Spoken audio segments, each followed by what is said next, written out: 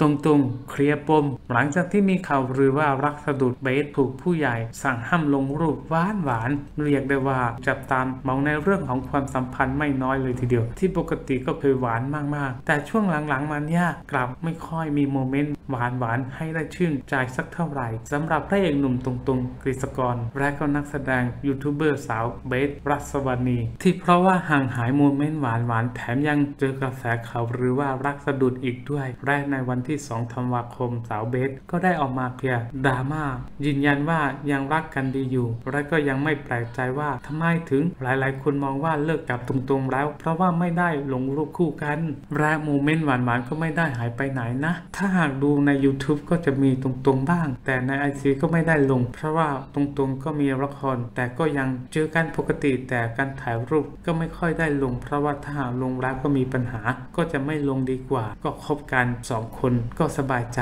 ส่วนที่บอกว่ามีผู้ใหญ่ขอให้ลดความหวานลง สาวเบสก็ได้เปยให้ไปถามฝ่ายชายในช่วงที่เกิดดราม่าก็มีการคุยกับตรงๆบ้าง ก็ต้องขอขอบคุณฝ่ายที่ยังหนักแน่นและก็อยากจะไปต่อรักห้ามคนภายนอกคอมเมนต์ไม่ได้ ส่วนความสัมพันธ์ก็ยืนยันเลยว่าไม่ได้มีปัญหา และก็อยากจะให้ไปถามฝ่ายผู้ชาย เพราะว่ากลัวว่าเดี๋ยวต่อไปตนก็จะโดนต่อว่า ซึ่งงานนี้ก็ถึงข่าวของหนุ่มตรงๆกับวาทางด้านฝั่งของพระเอกหนุ่ม จะเดินทางมาร่วมงานเปิดตัวภาพยนตร์ ก็ไม่รอช้าเริ่มออกมาให้สัมภาษณ์กับสื่อถึงประเด็นว่าความสัมพันธ์กับสาวเบนก็เป็นอย่างไร ซึ่งหนุ่มตรงๆ ก็ยังคงยืนยันหนักแน่นว่า สถานะความสัมพันธ์ระหว่างตนและก็เบสรัศวานีเป็นปกติดี เหมือนเดิมทุกอย่าง แต่ช่วงเนี้ยไม่ค่อยเห็นภาพหวานหวานก็เป็นเพราะว่าต่างฝั่งก็ต่างยุ่งกับการทำงาน เพราะว่าก่อนหน้านี้ก่อนช่วงโควิด ก็จะใช้ชีวิตอยู่ด้วยกันได้ไปถ่าย YouTube ได้ไปที่นั่นที่นี่ด้วยกัน